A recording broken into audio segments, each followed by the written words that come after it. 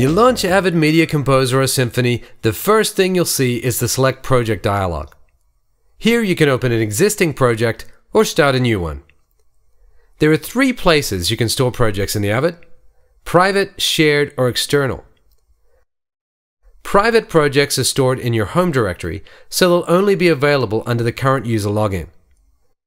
Shared projects are available to all user accounts on the current computer, while external projects are those that live outside the private and shared Avid project folders.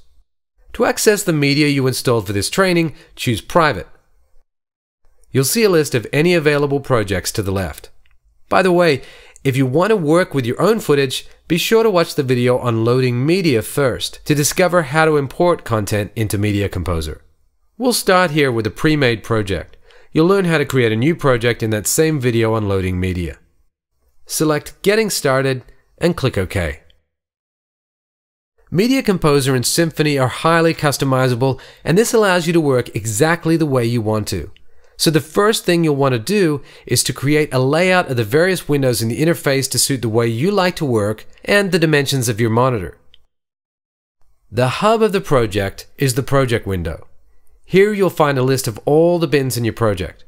The word bin is simply a film and video term for a folder that contains your media. In this project, we have three bins, one for source video clips, one for audio, and one for sequences. A sequence is an edited timeline of video. This could be anything from a rough cut to the final complete edit for a show. Before we take a look at the bins themselves, let's see how to organize things a little better in the project window. Suppose you wanted to group the music and video clips together into one section called Media.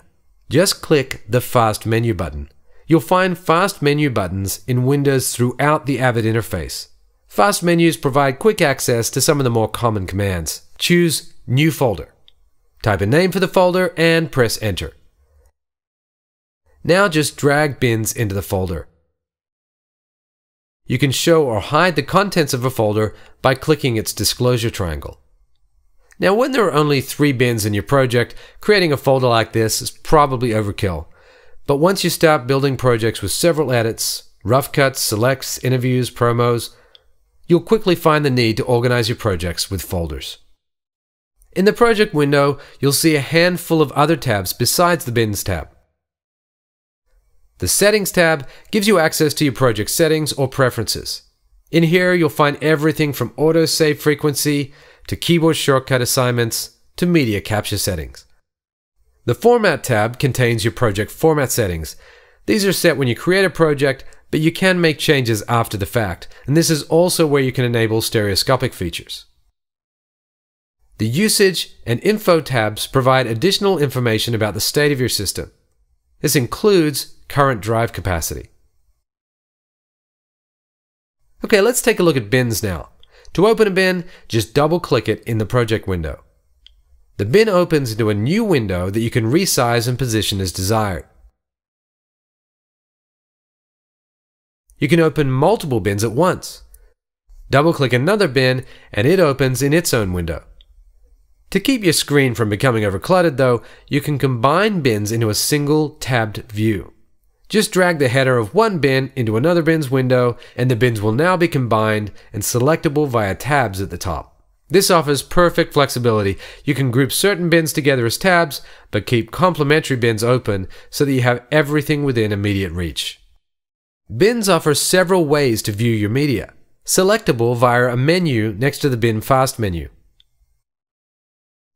Frame view is perfect for getting a quick visual of the contents of your clips. You can also move the clips around to create a visual storyboard.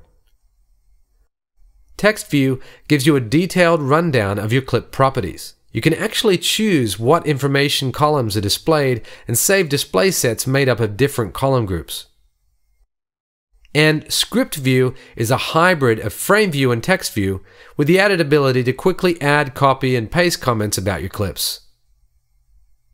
There are two other important windows we've yet to talk about, but first, let's open the sequence bin and add it alongside the other tabs.